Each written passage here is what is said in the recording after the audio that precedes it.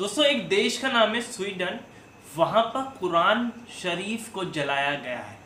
दोस्तों, पूरी जानकारी इस वीडियो में बात करेंगे किस वजह से कुरान शरीफ को जलाया गया है और कुरान शरीफ को जलाने के बाद दंगा भी भड़का है दोस्तों। पूरी जानकारी मतलब डिटेल में बात करेंगे इस मामले को लेकर। उससे पहले मैं आपसे कहना चाहूँगा दोस्तों कि इस वीडियो को प्लीज़ ज़रूर लाइक कर दिए। अगर आप चैनल पर नए हैं तो चैनल को ज़रूर सब्सक्राइब और बेल आइकन को दबा दिएगा ताकि मैं जब भी नई वीडियो लेकर आऊँगा दोस्तों आपको पता चल जाएगा।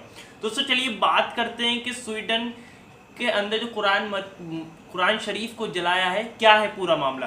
स्वीडन के दक्षिणी शहर मालमो में गोर दक्षिणी दक्षिण पंथी कार्यकर्ताओं ने कुरान की प्रतीक जलाई और उसके विरोध के लिए 300 से अधिक लोगों के जमा होने के बाद दंगा भड़क गया।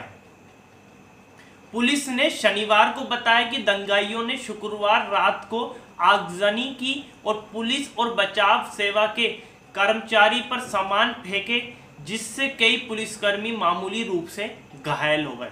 दोस्तों, जो कुरान शरीफ जलाया, उसमें लोग 300 से अधिक लोग वहाँ जमा हुए, उसके विरोध में और पुलिस के ऊपर सामान फेंका और कुछ पुलिसकर्मी घायल हुए हैं मामूली रूप से।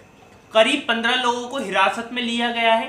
टीटी न्यूज़ एजेंसी ने बताया कि शुक्रवार दोपहर को गोर दक्षिणपंथी कार्यकर्ताओं ने प्रवासी बहुल इलाके के नज़दीक कुरान की प्रतीक जलाई और इसके वीडियो बनाकर ऑनलाइन पोस्ट कर दिया। दोस्तों, पहले तो प्रतीक जलाई कुरान की, फिर उसके बाद वीडियो बनाए और वीडियो को ऑनलाइन पोस्ट किया।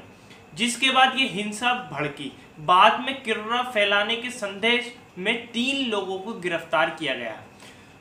दोस्तों, तीन लोगों को गिरफ़्तार भी कर लिया और पंद्रह लोगों को जो दंगा भड़का, उसमें भी गिरफ्तारी हुई है पंद्रह लोगों की। अब कुरान मरीज़ जो जला है, उस पर आपकी क्या प्रतिक्रिया है दोस्तों?